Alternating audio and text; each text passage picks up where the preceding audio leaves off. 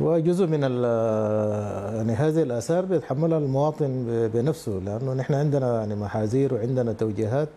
للمواطنين بأن يعني يبتعدوا عن المواقع المنخفضة لا يتم بناء المساكن في يعني أماكن أو مجاري الأمطار. ولكن يعني لا يوجد يعني التزام فالمواطن أيضا هو بيساهم في